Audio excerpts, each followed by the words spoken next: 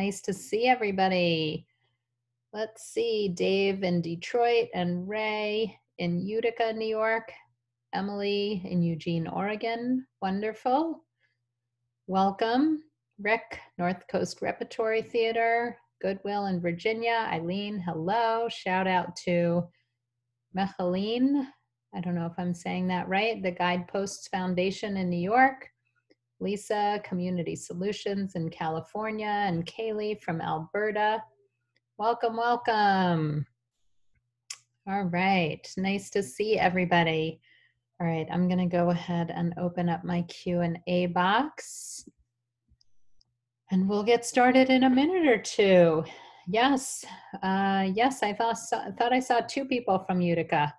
So connect, connect. Who was it? Let's see. Now I can't remember. Uh, Hillary, that was you asking, right? Did I see somebody else? I think, maybe. All right, you're going to have to find each other. Um, Emily from Wisconsin, nice to see you. Lori from Albany. Um, Sherry or Cherry from in Boone, North Carolina. Um, Nancy in Cambridge. Linda in Indianapolis, Indiana. Let's see. Lauren from Tennessee. Nice to see you. Okay, so Emily's reminding us to remember to change your option to all panelists and attendees so we can all chat together. Yes. Um, and uh, if if Becky's on the call, I don't know where my phone is. I think I left it downstairs.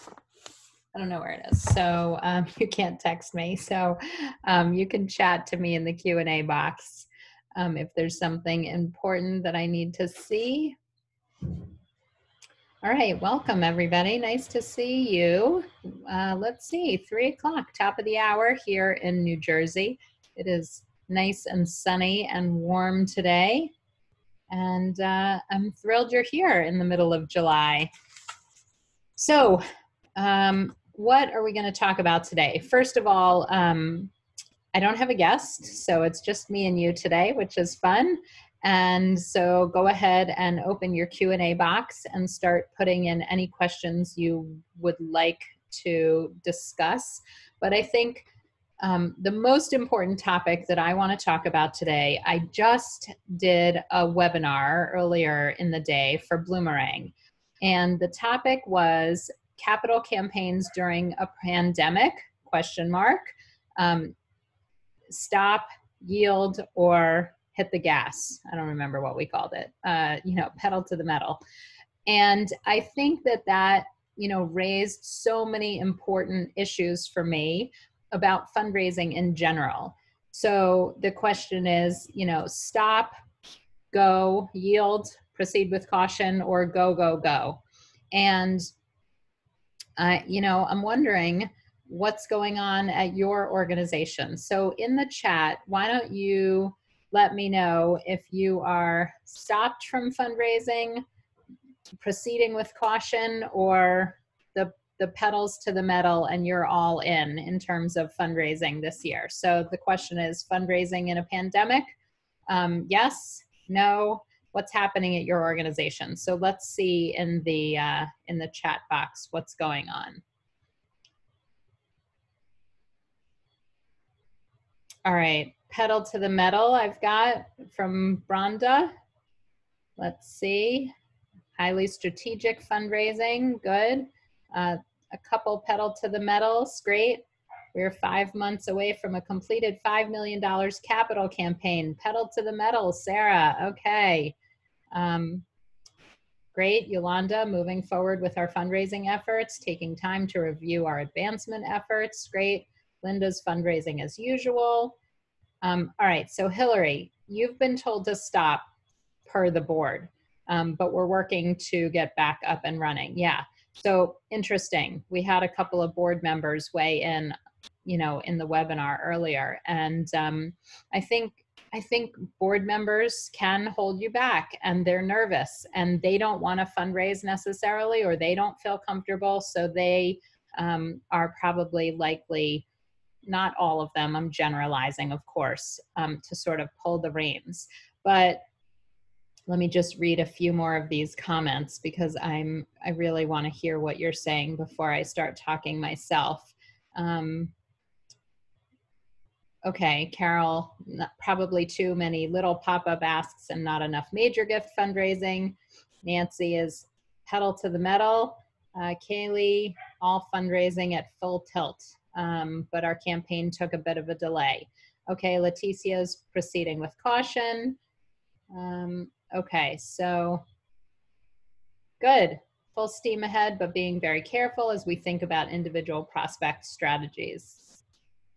Excellent. Well, okay, so I'm seeing pedal to the metal, but no visits at this time. So no in-person visits, but I hope there's lots of visits like this. So there should be lots of virtual solicitation and virtual conversation. So use the technology, ask your donors, you know, how do they communicate with their kids and grandkids? How do they video chat?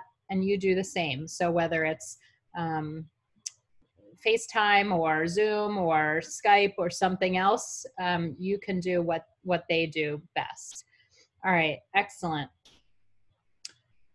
Okay, so um, there's so thank you all so much for responding. I can't possibly read all the comments yet right now in the um, in the comments box, but I am trying to scan them. So um, Christopher says, we had one of our most successful second quarters thus far. We're currently doing a virtual 5K walk run. Congratulations, two thumbs up. Excellent. Um, in-person ev events have been postponed. We're now looking at virtual events. Okay, um, so here's the thing. I want you guys to find the courage deep down inside to put the pedal to the metal. Um, for those of you that are still holding back or you have boards holding you back, um, what's happening right now because of COVID, a couple of things are happening. One is um, the playing field is being cleared because all of the small nonprofits, not all of them, small nonprofits, some small nonprofits, some big nonprofits actually, are, are failing right now or their boards are holding them back or an executive director is holding them back. And so the playing field is clearing. And so for those of you guys left in the game, um, there is more room to go, go, go. There are many, many donors who want to help and are looking for a reason to help right now. And so um, they are eager to help the other important thing to really remember and understand is that this pandemic has strengthened your case for support like nothing else could, right? The need is great and apparent and vast. I don't care what kind of nonprofit you have, whether it's environmental or arts or healthcare or um, direct service or food or whatever it is there is a strong, strong need, and you can make a very strong case for support for your programs and services. And so, um, so you know things are compounding right so so there are opportunities like never before because because you have needs programs and services maybe your the need the demand for your programs and services for human services for social services for food, for housing, for animal shelters, everything skyrocketing, right? Healthcare, um, senior services, skyrocketing needs, even education, uh, the list goes on and on. And so that coupled with the fact that so many nonprofits honestly are dropping out of the game for a variety of reasons no shame no blame it just is the way it is right now um, there is an unprecedented unprecedented opportunity. So I really, really want to encourage you um, to to pedal to the metal, right? Honestly, at this point in the game, there's nothing to lose. So you go out to donors and you have conversations and say, listen, um, I don't want to be fundraising right now, but in order to serve all of these people and provide all of these programs, that's what we're doing. That's where the need's at. And so would I be rather, you know, rather be implementing programs and services or whatever it is. Um, but I'm here talking to you about how you can be a partner with us. And so that we can do this. We have to raise more money now than we ever have before. And so I'm not sure what to ask you for, but I'm going to ask you for a lot. And because I, I believe that you want to help a lot and have a big impact. So then you can tell me, we can start the conversation. So, anyways, all right. So that's my that's my opening uh, rant, I guess, for lack of a better t- word. Um, that's that's our theme for today. I think it's pedal to the metal. We're going all in. Um, so let me read some of these comments here. Um, Jose, we have raised over $2 million to support nonprofits and individuals in our region um, in Southern California. Also, just established a new um, IE Black Equity Fund with a goal of $5 million. Yes. Um, all right. So more resources in the in the comments section. All right. So okay. So listen, events forget events. You know, um, for anybody who's been following me for more than a week or a month or a year, um, you know that I am all about major gifts. Um, one major gift can replace your event income. I don't care how amazing your event is, whether it brings in $10,000 or $100,000 or $100 million. You know, one individual donor can replace that. And so it's just a question of and a matter of going out and building those relationships. Now, you know, events, whether they come back or not in six months or a year or two years or five years, I don't know. But right now, um, some of you are having successful virtual events. Great. Pivot. I love it. Love the creativity. But the reality is, you can go to all your event donors and say, listen, the reality is, we're not having our gala this year. We're not having our golf. We're not having our 5K. Um, I'm here instead to ask you to make a straight up contribution because we're the need is greater than ever. So instead of planning your event, um, try that. Reach out to the people that would come to your your event and ask them for uh, contributions. Now, Alana, I see executive leadership puts a lot of pressure to host events because they don't know how to do any other type of fundraising. Um, and so and I can say that with confidence because I've been working with them for years. Um, and so, what I will tell you is that, um, and I'm going to get to questions in just a minute, but I will tell you that I've been hard at work in the last month after doing these Q&A calls, these town hall calls since the pandemic started um, in mid-March. I've been doing them every single week since the pandemic started. And what I am working on right now, I realize that I have veered too far away from what you really need. And that is a step by step program to help you raise major gifts and to raise real significant money.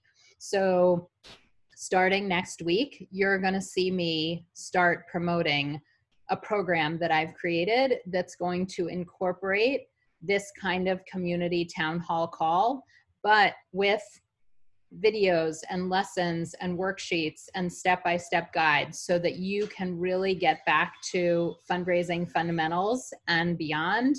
Um, it's not about grant writing, it's not about event planning, it's all about individual donors and raising major gifts because I truly believe that that's where the money is. Um, so, anyways, so stay tuned, stay tuned. Um, I'm excited about it. All right, so let's go to some questions in the Q&A box. Um, so Joe says, very interested if your viewpoints are shifting as COVID is now raging, upsetting hopes that we'd flatten the curve and return gradually to something more normal. So listen, Joe, I think, you know, none of us knows what the future holds, right? Um, vaccine or cure or raging raging virus which is what we seem to be having all over this country right now um, and so yeah i mean so on the one hand yes my viewpoints and attitudes and opinions and thoughts shift every day not as fast as the first month. I think the first month we sort of all felt like we were on quicksand and everything changed from day to day. Honestly, now I feel like we're in this for the long haul. Um, whether something changes in the next six six months or 12 months i don't know. But my plan is to operate like we are not going to be back in a room with 100 people. I'm not going to be getting on a plane going to conferences. Um, you're not going to be sitting in the living room with donors anytime in the near future. And so what we're doing is pedal to the metal um, in the current environment. That's i mean that's that's what I think right now. That's what I know. Um, all right, Laura, are folks optimistic about planned giving during the pandemic? I'd like to proceed cautiously with long term donors, but I'm getting pushback. All right, pushback from who? So I'd love to see what you guys think. You know, are you moving ahead with planned giving? I think that the way to raise planned giving with donors right now is to say, you know what? We made a mistake by not doing a lot of planned giving work 10 or 20 years ago because if we had, we'd be in much better shape today. And I don't know if it's something that you're comfortable talking with, but if you are, I'd love to have that conversation. So, um, you know, you might be getting pushback from board members who don't do any planned giving, who don't know anything about planned giving. Um, your donors who are are uh, philanthropic and thoughtful and planned about this, they, you know, it's not nearly as uncomfortable for them. Um, they are thinking about it. In fact, I was just talking to a Humane Society yesterday. She says that they've gotten more notifications about bequests um, in the last four months than they've ever gotten before because people are thinking about it. They, they're thinking about their mortality. They're thinking about what happens if the virus gets them.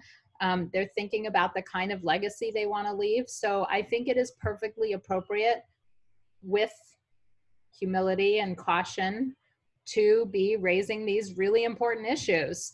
Um, and uh, Michael Rosen has a great blog. I don't know what specifically the post is, but he writes about this. So um, if you want really good material on planned giving, um, how to proceed, he wrote a really good post about a month or two ago. If anybody has it or finds it, you can stick the link in the in the chat box for us. Okay. Uh, let's see, Tracy. Uh, you are not sleeping. You already hit your annual goal. Oh my gosh. Okay, don't not sleep annual goal is that from January to December, or you already hit your goal um, in July for the whole year? um, you got to sleep. So I'm not suggesting not sleeping, but I'm glad you're pedal to the metal. So thank you for sharing that. Um, all right, let's see. You mentioned, okay, so um, somebody's asking me anonymously if that I would be bringing these town hall calls to an end. So the good news is I'm not actually ending them. Um, two th- two ways I'm continuing them. One is I have been doing these town hall meetings twice a week for the last four plus months. Um, once with the Capital Campaign Toolkit with my co-founder Andrea Kihlstedt, we do them every Monday at two o'clock um, and I've been doing them on Thursdays. And so I am after next week. Next week will, I think next week or maybe two more weeks, but next week um, will be the last one. I'll let you know in my email, my weekly emails. Don't worry.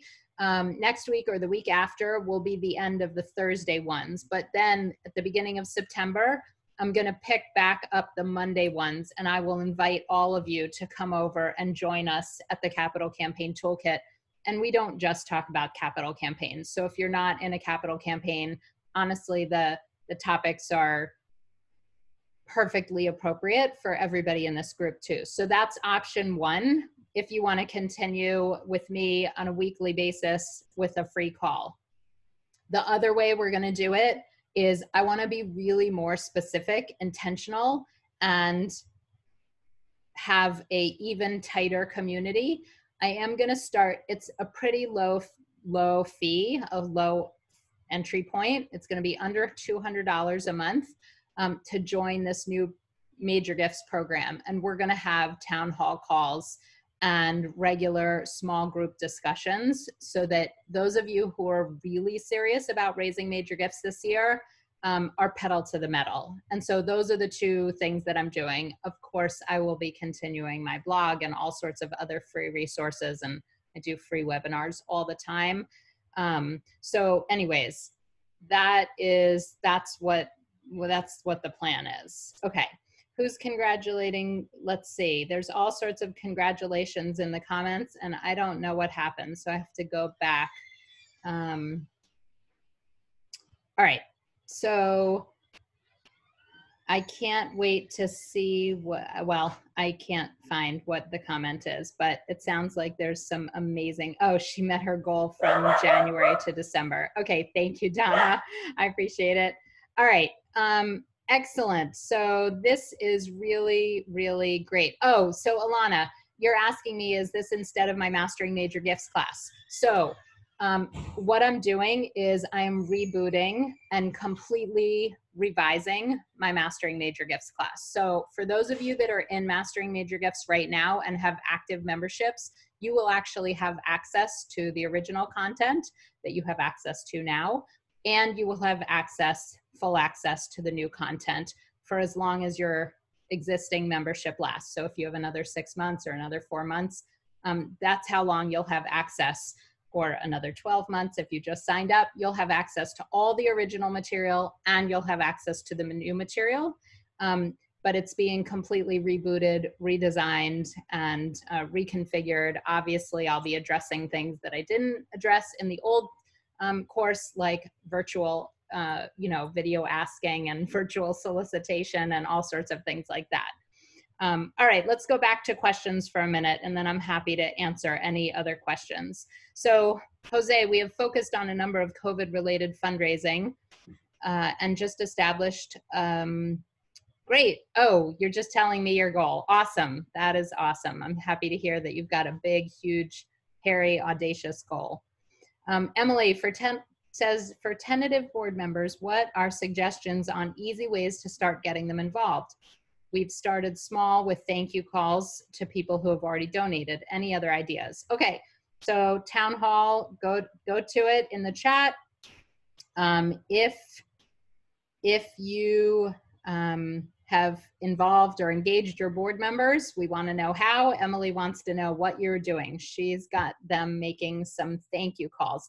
Honestly, that is a that is the best way to start, especially with tentative or timid board members around fundraising, is have them make thank you calls, write thank you notes. So um, either before a board meeting when they were happening in person was a great time or right after a board meeting um, giving them thank you notes or thank you calls to make. Now, of course, they can make thank you calls from home and even write thank you notes from home. So it's a great way to get started. Um, I also love when organizations do a, uh, a mentor mentee board member program. And so you can have really experienced fundraising board members um, partner up with board members who are newer to your board or more timid about fundraising and show them the ropes um, have them you know join them for a visit or two you know even if it's remote zoom you know just introduce them as a new board member or um, somebody who's learning more about the organization or whatever it is. Um, so you can have a shadow mentor program with board members. That's a great way to get board members actively involved. So, any type of thanking and stewardship, of course, but also cultivation activities. So, what can they do to learn about potential donors and build relationships with them?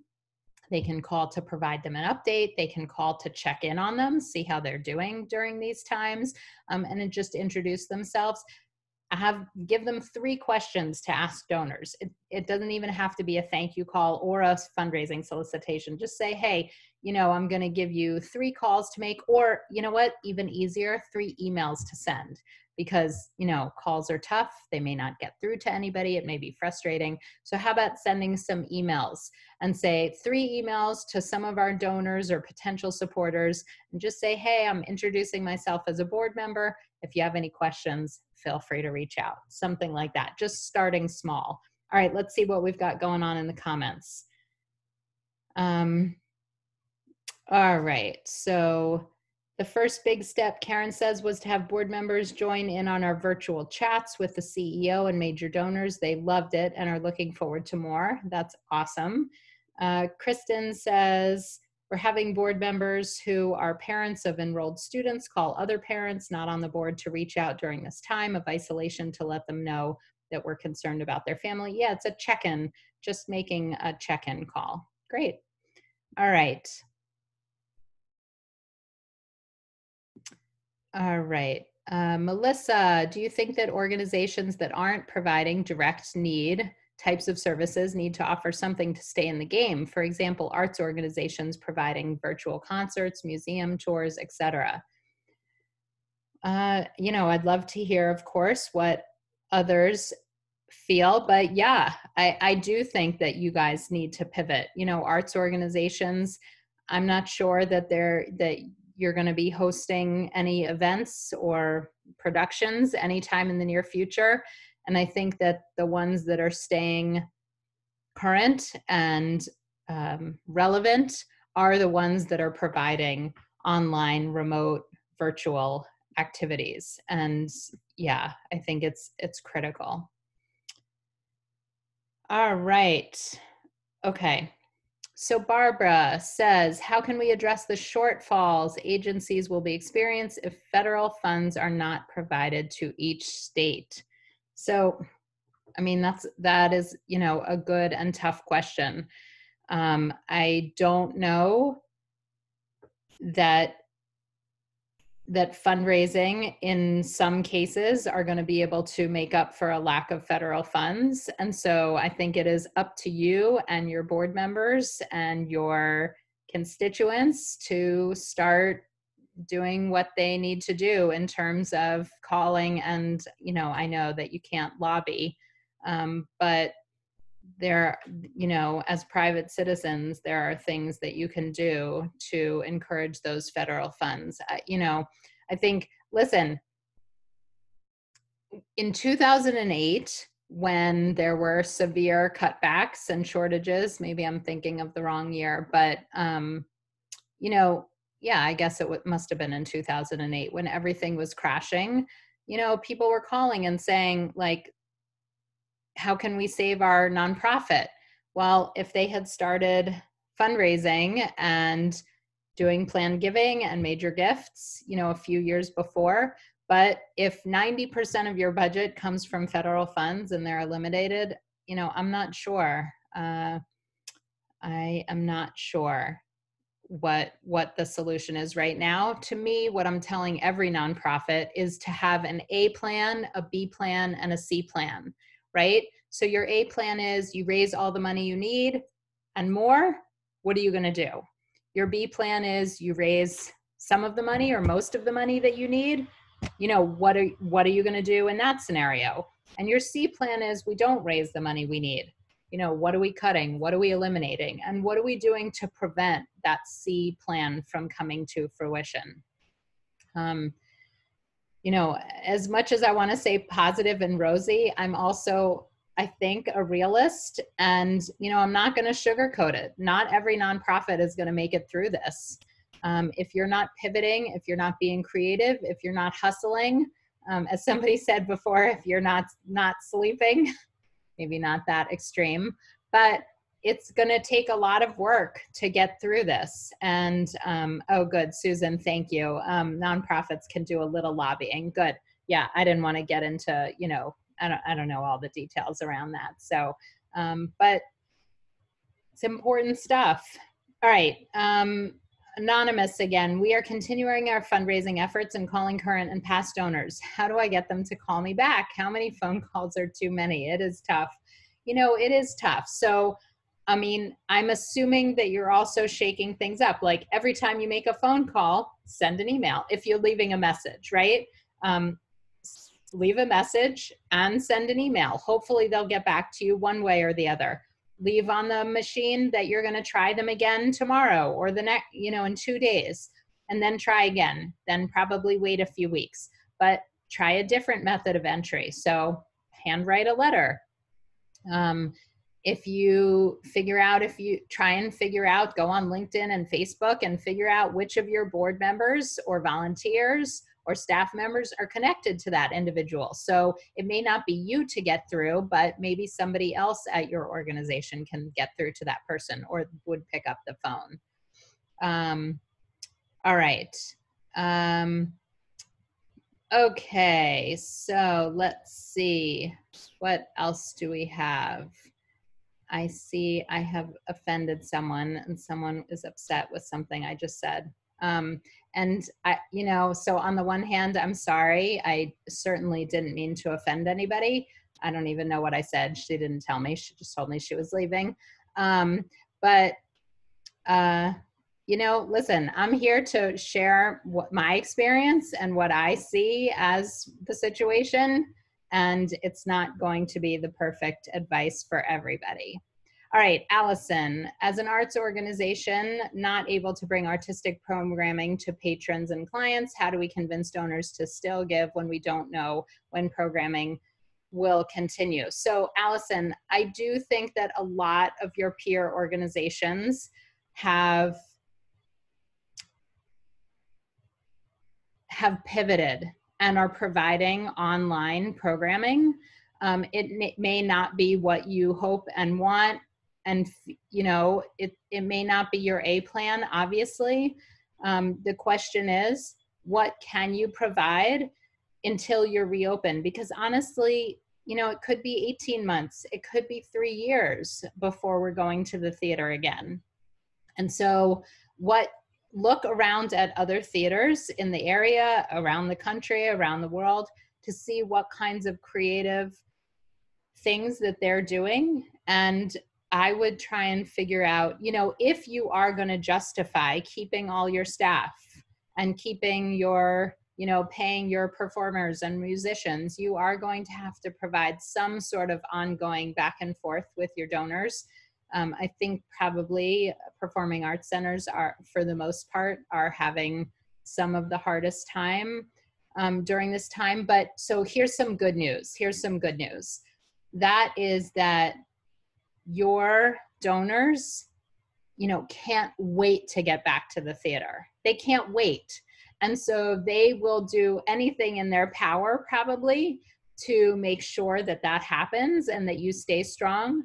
So I think it is going to them with a plan. Tell them what's going on with your staff, what's going on with your performers, what's going on with your classes, what's going on with your productions, um, and make sure that you keep that dialogue open so that they know what um, what what is happening what the plan is. Don't stay silent. Don't go underground. Then they'll they'll think you're either okay or that you're gone um, so the more communication you can do, the better. All right, so let's see. Uh, Christopher says, tell us how to refuel before we hit the gas. Some of us have not stopped because of COVID. Some of us are running low on the tank, um, but digging deep and pushing the gas anyways. Yeah, so I'm so glad you asked that. Listen, we could work forever right? Constantly nonstop. And i think that a lot a lot of us do in nonprofits you know we're we're running running running. We're always short staffed. We're always under resourced.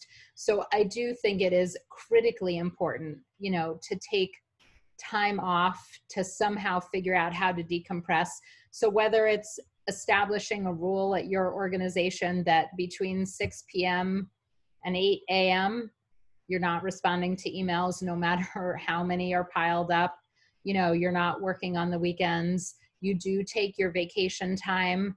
Um, you know i think it's critically important. So i'd love to hear from others. What what are others you know whether it's every friday off in the summer certainly not lots of nonprofits um, do that. And so please please, um, you do need to take care of yourself first because if you burn out, you're not good to anybody. You're not good to your nonprofit, your donors, your clients, um, your constituents. And that, you know, obviously, I don't want to see that happen at all. Um, oh, Susan's adding your family. So, you know, whether it's saying, all right, I'm going to, I'm not going to do these events or these grants or you know the, there are certain categories of donors that are going to receive bulk communication from us. So as much as i'm saying pedal to the metal um, i also truly believe you know in in balance whatever that means if there is ever any balance. And so everybody's behind. You're doing the best you can and to me that is is good enough as long as you're being efficient and effective. So there's there's groups of donors right um, i always say in in my mastering major gifts class i tell people that if if they are responsible for everything if you're responsible for everything at your organization grant writing and event planning and marketing and donor database and major gifts then you can manage a portfolio of about 20 people. So I think part of the problem is that, you know, a lot of development directors put pressure on themselves to be cultivating everybody all the time. And what ultimately ends up happening is that you're cultivating nobody. And because you're just spinning your wheels, spinning your wheels. So, you know, you have your 20 people, maybe your A list and your B list that you're working on calling, that you're handwriting notes to, I mean, well, you're handwriting notes to more people than that. But then there's a group of people, the bulk of people, honestly, that are in your bulk solicitation, your bulk stewardship program. Um, and those, you know, um, those you're sending emails to and you're sending direct mail to and you're having volunteers call but it's more of a it's less of a personalized situation so um, any other ideas um, feel free to put it in the yes susan says have self-compassion. Covid is affecting all of us. Um, absolutely. Okay. All right. So oh good. So um, let's see. Tamam is asking um, about an a and b list for people who are doing it all 20 people but for major gift officers generally i think a manageable number of people if your job is a full-time major gift officer is 20 people. Uh oh, no sorry. Full-time major gift officer is about 100 you know i've seen lists anywhere from 75 people to you know 150 people.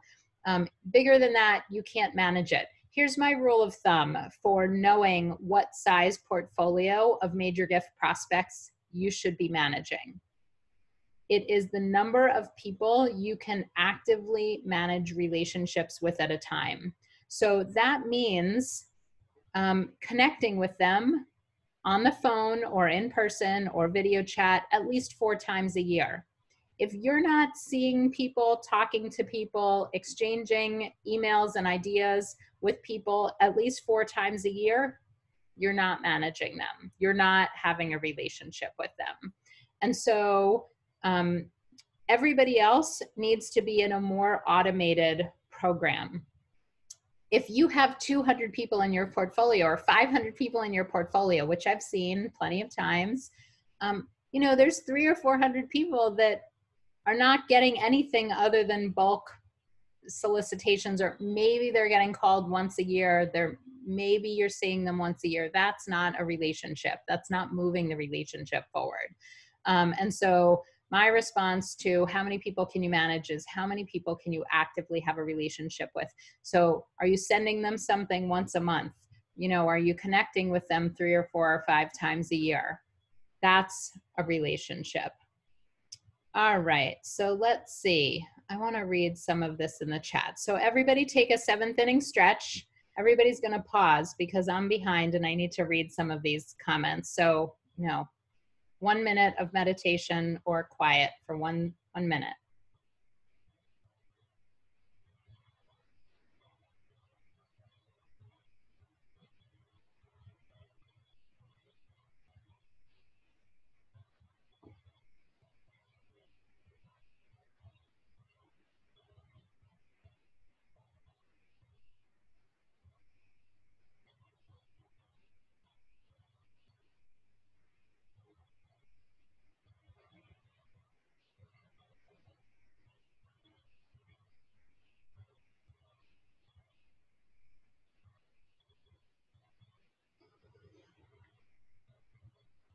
Okay.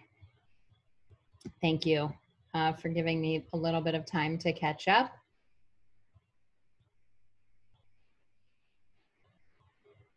There's so many good comments. That is what I love most about this town hall, honestly. Is that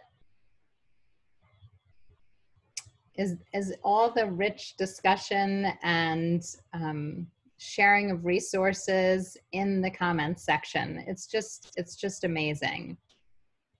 All right. So Kristen says, I have a donor who's deeply connected through her mother and daughter to our organization. She's 94. I've courted her, had lunch, sent flowers, and she keeps giving me 10,000 a year, although last season it was 5,000. How can I get her to talk to me about whether she has a legacy plan for our organization? So listen, um, once donors get to a certain age, you have to be extraordinarily careful about broaching the subject of planned gifts. Um, to me, somebody who's 94 um, may or may not have all of their mental faculties about them. And you need to be extraordinarily careful about um, any perceived or actual coercement. Um, so to me, you know, obviously, ideally, you're talking to people who are in their 60s and 70s about planned gifts, not people in their 80s and 90s. But being that you have this person, what I would do is include her daughter. You said that her her mother uh, connected through her mother and daughter. I don't know. Um, I'm not sure if that's a granddaughter, but anyways, bring the family together to have a conversation say listen you know this has been an important charity to her for the past 5 10 20 50 years um, and i wanted to know you know one of the things that we're talking with all of our supporters about is a legacy gift and leaving a legacy so that we can be here for future generations. Is that a conversation that you'd be willing to entertain? Um, because then if the daughter um, who I'm guessing, if she has a 94 year old mother, is in her 60s or 70s. Um, that's the perfect time to start those conversations. And if she's on board with her mother leaving a bequest or a planned gift, um, then it's, um, you know, then it's on the up and up, right? All right. Yeah. Okay. So, uh, let's see. Um, Cherry says, I love people and genuinely enjoy getting to know them and engage. I hate feeling like I'm starting a relationship with someone just for their money. I don't want to seem disingenuous. How do you fight that feeling?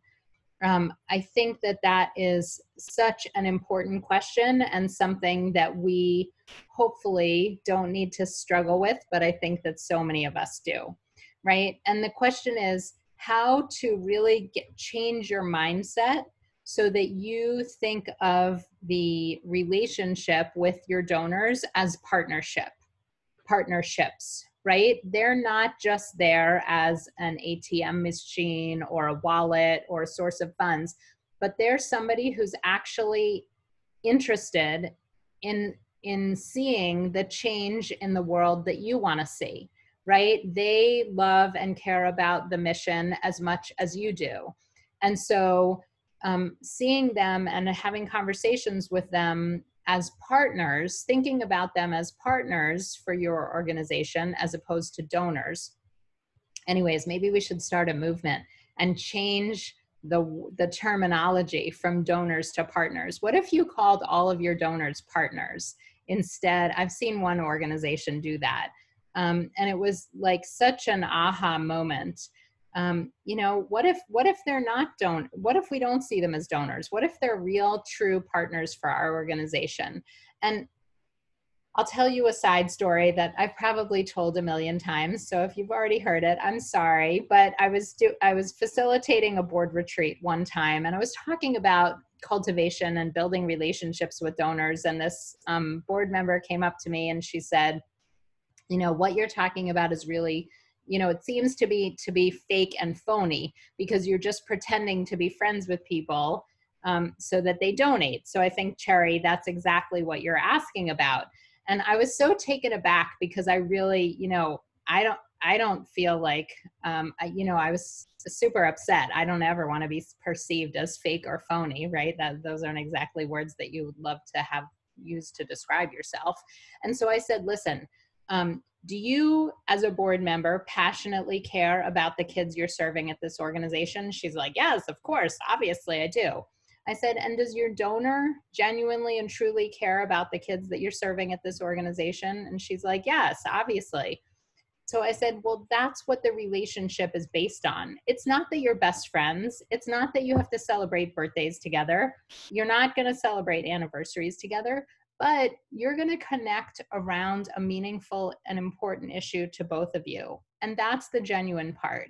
And so it's not just about money, it's about connecting um, over an issue and a community issue that you both care passionately about. Um, all right, great. So let's, let me look in the comments. Excellent. Okay, so people are saying that they've called their donors part of the family or partners or um, supporters. But even more than supporters, I think partners is really, you know, you're you're doing this work together. Like the donors want this work done, but they couldn't do it without you because they're not going to go out there and do the the hard work that it takes to change the world what they have is financial resources. Um, you couldn't do it without them, and they couldn't do it without you. So it truly is a partnership, and it would be great if we could think about it that way. All right, so let's see. Um, Rick saying, think about how much you want to share the things you love about life favorite movie, favorite book, favorite nonprofit. You aren't after the money, you're trying to connect people that care about a cause that's important to you. All right, excellent. All right, we're going to start a revolution here. Partners instead of donors. Let's do it. I better write that down. Um, partners. Maybe I'll blog post about that. Um, maybe I'll write a blog about that. Uh, partners, not donors. Okay, good. All right, what else you got for me? Um, so that's all the questions that are in the chat box. So I need to, or the question box. So if you want to add one, um, I have time for one or two more. Linda says, when I make friends with donors, I never think of asking or expecting a donation. I make a connection with them that evidently makes them a donor of importance. I can't think of many how many times I actually asked for money. They just know because of our relationship. So um, so on the one hand, yes, I don't want you to assume that they know. Um, Linda, I'm so happy it's worked for you, but I do wonder if they might have given more if you were more specific about what the needs are, or maybe you were specific about what the needs are um, without asking for money. You can say, listen, do you want to help um, get three kids off our waiting list? Or do you want to help um, provide a social worker. And then they if if you've done your job really really well in describing what the needs are they can say yes i want to help. You know how does that work? Or how much does that cost? What do i need to do? Uh, so all right. Uh, yes okay. So um, susan says i use the word join me in my communications. Helps get over the hump of the ask. Yeah join me in making sure these programs and services continue all right. So Yolanda's asking, there was a question in the chat about soliciting parents during this time of COVID who may feel that their students are not getting the full benefit of an in-class experience and no fall sports programs. I'd be interested in in that um, question. So listen, I think that everybody understands that these are the craziest times. Um, you know it, it's true i think you can say listen it costs a lot more for us to provide this online experience. We have to make sure that everybody has an electronic device that everybody's connected to the internet that our teachers have new um, teaching methods and training. And so that's what you're fundraising for to improve the distance learning experience. So that may be one tactic. Um, you might also well um, I think that you know you can say that you are fundraising so that the the sports and the extracurricular activities can resume as soon as you're possibly able and that in the meantime you're going to be doing your best to provide other opportunities. Um, so i don't i don't know. I would like to hear what others say about that all right. And Tina says, What do you think of naming a legacy planned giving society? I've been tasked by a consultant to start one, yet yesterday in a webinar heard others in the industry doing away with them. Same question for monthly giving club. Thoughts? All right. I'll turn that one over to the town hall, the to the um, hive mind, if you will.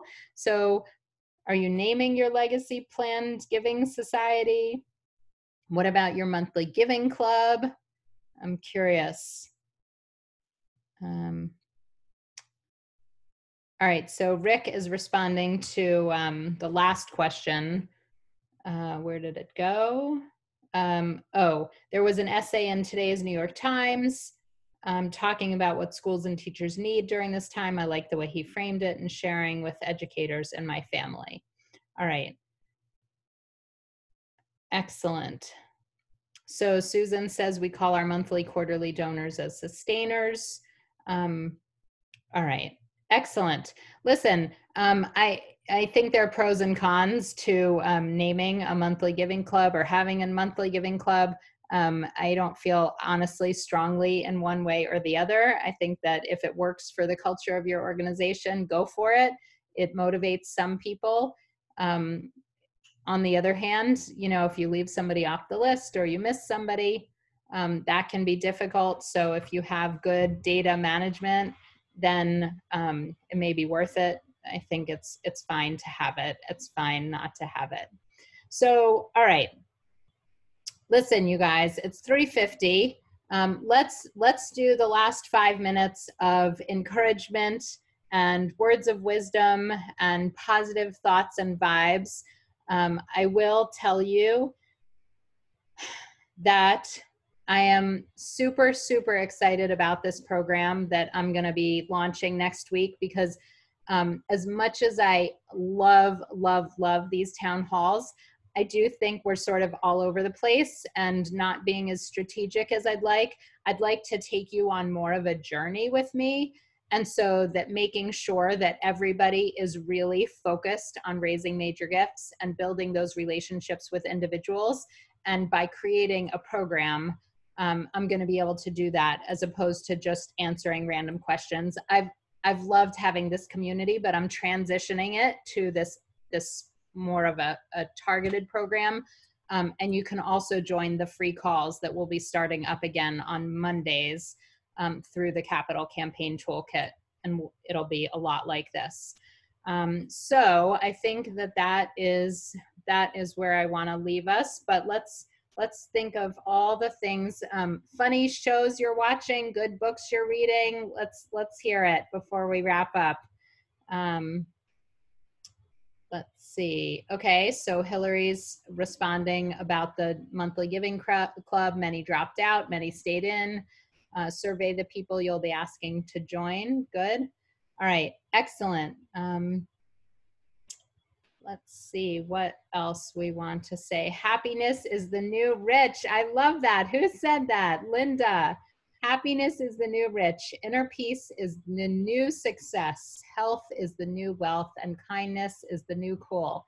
Ah, my thoughts to share. Linda, thank you. Thank you. That just let us um, end on such a happy note, but we're getting so many more. So keep, um, let's see. Excellent. Um, all right, Emily's rec recommending Netflix's Mystic Pop-Up Bar. I don't know what that is. I haven't heard that one yet. Um, Susan says grants are coming in. Is it's exciting. Excellent. Um, great. Karen's watching Friends again. That's awesome. Um, and Donna completed a thousand piece puzzle. Um, yes, yeah, Susan, I'm watching Schitt's Creek right now. I'm in the final season. I had never watched it before, but in the last four months, I've watched Schitt's Creek and I'm laughing every day.